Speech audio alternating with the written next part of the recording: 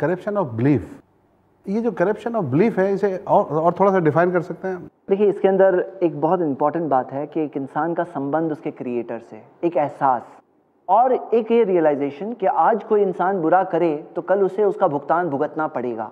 He will have to face the consequences और अच्छा करते करते भले ही उसकी जान चली जाए, भले ही उसे एक मुर्दा इंसान की ज़िंदगी जीने पड़े, लेकिन उसे एक अच्छाई का बदला मिलेगा। बट हमारे सामने एक बात क्लियर होनी चाहिए कि हम कर क्यों रहे हैं? अगर हम कर रहे हैं ताकि कोई दिन मुझे जाके एक अवार्ड मिलेगा या कोई अप्रिशिएट करेगा, कोई देख रहा नहीं है, एक इंसान ने साइलेंट वर्क किया अनअप्रिशिएटेड गया वो वर्क तो कहाँ है उसका बदला कहाँ है एक अच्छाई का बदला